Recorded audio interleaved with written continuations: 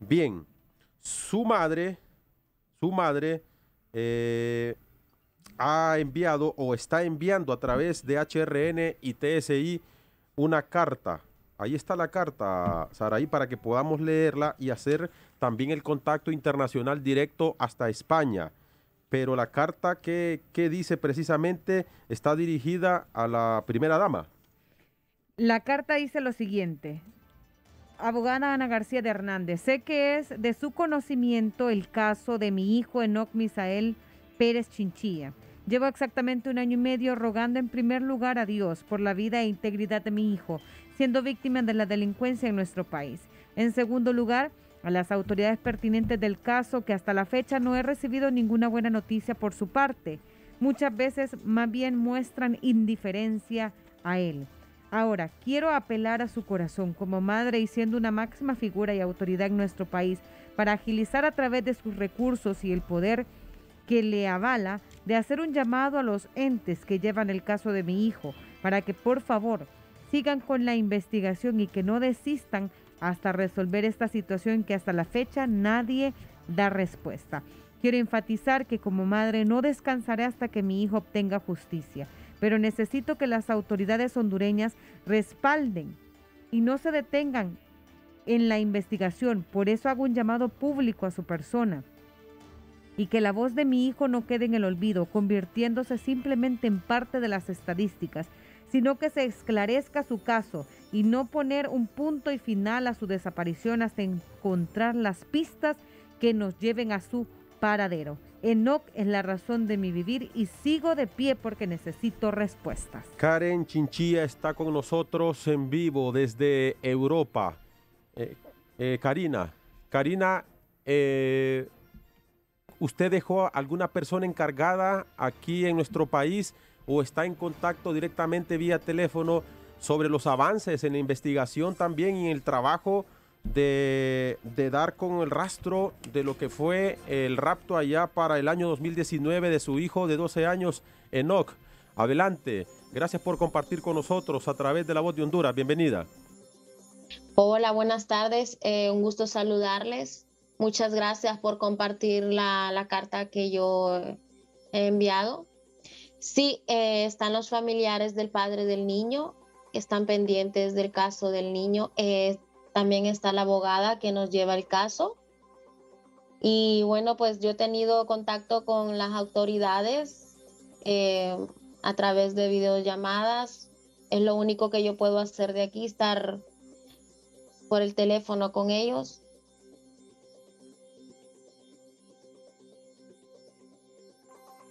entendemos. Y ustedes eh, como familia, ¿qué han ofrecido? ¿Han ofrecido alguna recompensa a alguien que sepa sobre el paradero, sobre la última vez que tuvieron oportunidad de ver a su hijo eh, allá por el norte del país, eh, Karina? Sí, con el padre de mi hijo, pues nosotros pusimos una recompensa de 250 mil empiras para quien tuviera información verífica, pero ha sido en vano. Todas las informaciones que han llegado han sido personas que se han querido aprovechar de nuestro dolor. Karina, ¿y cómo sabemos que este tema ya se ha vuelto mediático en nuestro país? Eh, sí, algunas de, las investigaciones, algunos de los rumores que se manejaban era que antes de que se diera este suceso, había algún problema entre familia o usted lo descarta totalmente? ¿Había ¿Tenía algún enemigo? ¿Había alguna, alguna disputa por alguna herencia, por algunos bienes eh, o no tenían ningún tipo de problemas ustedes, Karina, como familia? Absolutamente no. Eh, nosotros no teníamos ningún problema con, con, nadie. Si tanto la familia del padre de mi hijo como nosotros, pues somos personas humildes nos llevamos todos los vecinos, somos pocos vecinos, pero había bastante unión, sinceramente que yo me quedé sorprendida cuando pasó todo esto. Y si a un dado caso, cosa que no es así, hubiera tenido problemas, es que cómo voy a enviar a mi hijo, yo si tal vez hubiésemos hecho algún daño, hubiera, hubiesen problemas familiares, es que no lo hubiese mandado nunca. Y ya a, a más de un año de la desaparición de su hijo, la última vez que lo vieron, no han recabado más información de algún vecino que vio algún movimiento raro que no les pareció desde ese momento cuando desapareció Enoch. Eh, hace un año y medio ya que pasó todo esto y nadie dice nada, es como que el niño se lo tragara la tierra. Mm, yo pienso que hay muchas personas que deben de saber qué es lo que realmente pasó o lo habrán mirado, pero se han callado todo esto y se lo siguen callando. Sinceramente, pues no logro entender el por qué.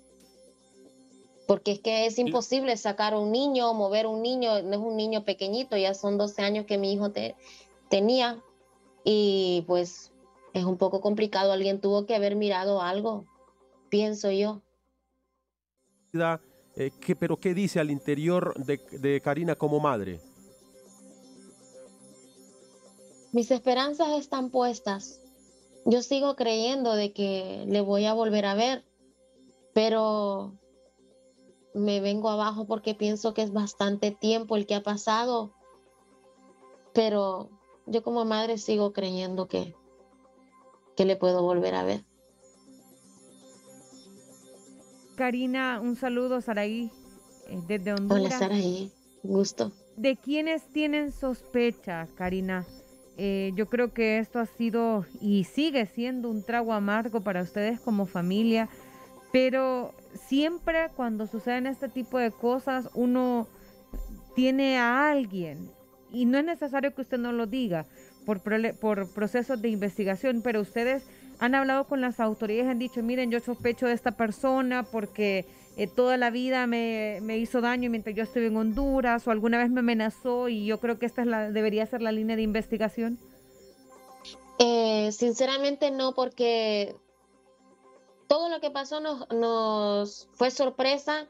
Sí sabemos las personas que han trabajado en, este caso del niño, las personas culpables ya incluso las autoridades han puesto en el panel de los más buscados a uno, porque las personas que están detenidas, hay dos personas detenidas, pero trabajaron varias personas. Sí sabemos quiénes son. Sinceramente yo no les conocía porque esas personas llegaron a mi barrio, no sé ni cuánto tiempo tenían de estar ahí pero en tema de así de familiares o algo de que no, no.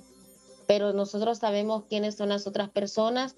Incluso eh, con el padre de mi hijo, pues nosotros estamos pensando poner una recompensa para encontrarles porque las autoridades lo que han hecho ha sido ponerlo en el panel de los más buscados y hasta ahí ha llegado. No, no sabemos nada de, de esas personas que andan huyendo. Karina, en el caso de Byron Humberto Meléndez, que fue muerto en eh, una prisión hondureña, ustedes descartan que él tuvo vinculación directa con la posibilidad del rapto de su hijo. Cuando usted habla de volverlo a ver, ¿es posible que usted tenga la esperanza que él esté en México o en otro lugar? o que existan captores que lo tienen y finalmente su, el abuelo de, su hijo, don Rubilio Arturo y la, y la muchacha que lo cuidaba, eh, Cindy, ¿se sabe o se supo algo más si la muerte tuvo una relación directa con la desaparición de su hijo? Bueno, eh, tenemos entendido de que todo lo que hicieron pues fue por secuestrar al niño. Ellos pensaban pedir dinero porque hubo una persona que supuestamente confesó eso, de que todo les había salido mal, pero que las intenciones eran secuestrar al niño. Y si la persona eh, que murió, Byron Humberto, es que es el principal autor de todo esto. Que las cosas le salieron mal, pues no sé por qué, pero al final, pues su final no fue. Final, finalmente, ¿hay una alerta de Interpol? Sí, sí. Muy bien, eh, muchísimas gracias y cierro con usted con las palabras que escribió hacia la primera dama aquí en nuestro país. ¿Qué le está solicitando a la primera dama para cerrar con usted, eh, Karina?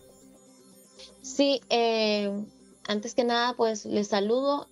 Ella me imagino que conoce el caso de mi hijo. Yo le he escrito esta carta con el dolor de mi alma como madre. Le estoy hablando como madre. Yo sé que tiene autoridad en nuestro país. Antes que nada ponemos la autoridad de Dios. Yo sé que usted puede hacer algo por mi caso.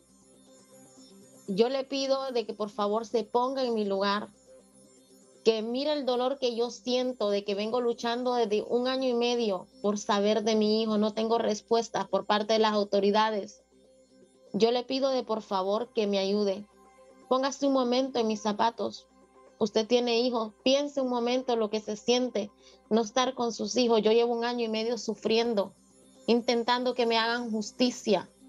No me he dado por vencida gracias a mi Dios y las ganas de volver a ver a mi hijo pero le pido que por favor haga algo por mi caso. Yo sé que usted como mujer y como madre va a comprenderme. Y yo espero eso, de que realmente se ponga en mi lugar y me ayude a solucionar, a encontrar verdades, que las autoridades se movilicen a encontrar la verdad que yo necesito y es saber dónde está mi hijo. Esas son las palabras que yo le tengo que decir a la señora Ana. Hemos compartido desde Barcelona, España, con Karina Chinchilla, madre de Enoch Misael Pérez Chinchilla, el niño que fue raptado el 2 de diciembre de 2019 en el barrio Campo El Vir de Tela, Atlántida, tras el asesinato de su abuelo, tía y niñera. Vamos a una pausa comercial, ya regresamos.